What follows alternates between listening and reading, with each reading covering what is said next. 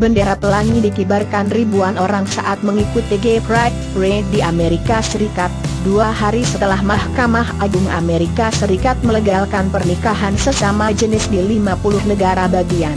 Komunitas LGBT Indonesia di New York terlihat bersuka cita mengikuti parade yang juga diselenggarakan di New York City.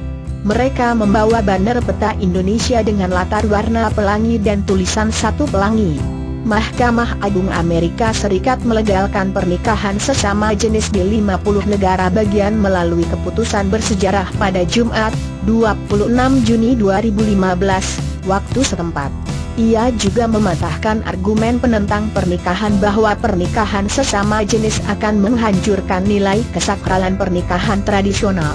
Sementara itu, Hakim Antonin Scalia, dalam dissenting opinionnya, menilai keputusan ini adalah kudeta yudisial dan ancaman bagi demokrasi Amerika.